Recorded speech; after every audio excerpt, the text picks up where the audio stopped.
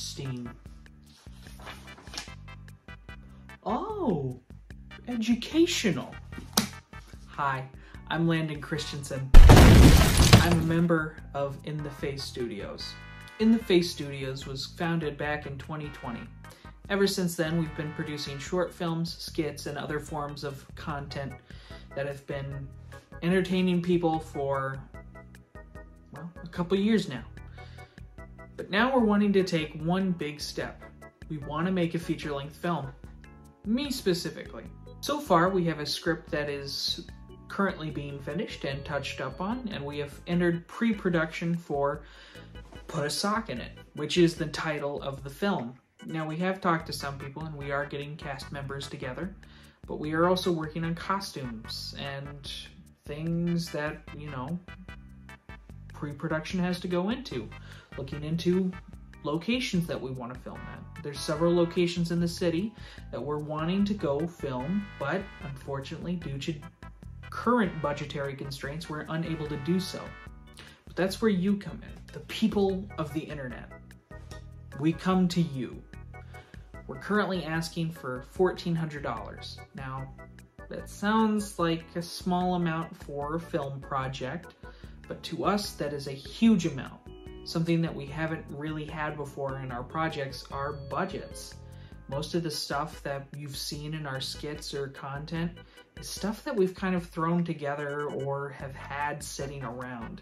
Now, in some cases, that isn't true, such as Detective Tales of the Odd, which to us was kind of our big first serious kind of short film that we did.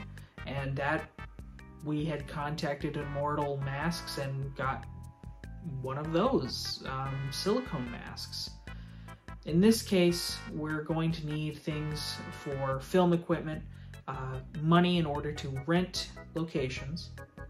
We have several actors that we're wanting to hire that are voice actors in the industry that we know will have to be paid. And all of that doesn't even include the amount of money that we are going to need for practical effects for this movie, we're wanting to have a lot of practical effects mixed with digital effects. And we feel that both of those together could create something really visually pleasing. Practical effects include we're wanting to have a lot of blood in this movie. This is an action horror comedy, and we're wanting to show things that you wouldn't necessarily see in a lot of big budget movies. Which, yes, We've been inspired by films such as Terrifier or that of Trauma, but we're wanting to test the waters, see what we can get away with here. But not just by making it gory for the sake of doing so. We're wanting to have a message behind it, trust me, I know. Other budget things include we're wanting to have a practical building set on fire. How do you do that? Well, I won't give it away, but let's say We've done some scouting. We might have found something, but again, money is the issue. Capitalism strikes again, unfortunately.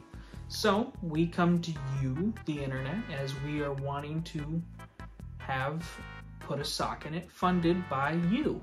Now, as of course, any donations that go to this movie go straight into the movie, nowhere else. We're talking to distributors. We're wanting to have this movie actually produced. We're wanting to have it on DVD and streaming services, so we will have to consider that when we make this movie. Anyone who donates to this movie will have their name at the end of the credits. That is something that me and the other people here at In the Face Studios have talked about. This is technically something that you have put your money towards and are technically a part of.